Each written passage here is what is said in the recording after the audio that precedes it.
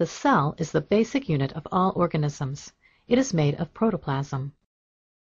The membrane is double-walled with selective permeability allowing water and other material in and out of the cell. The protoplasm inside the cell is cytoplasm, composed mainly of water, and structures called organelles.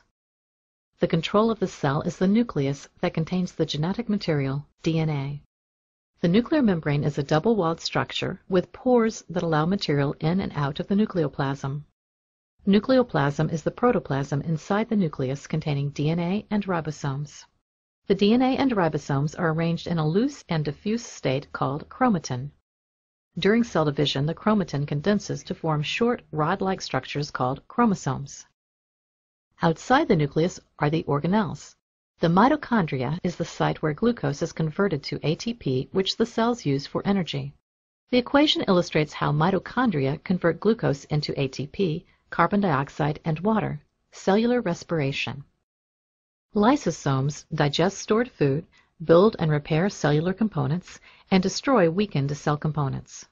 The endoplasmic reticulum, or ER, is the transport system for the cell that brings material from the cell membrane to the nuclear membrane. Two types of ER include smooth and rough, which has ribosomes. Ribosomes are responsible for protein synthesis. Compounds secreted by the cells are stored and concentrated in the Golgi apparatus.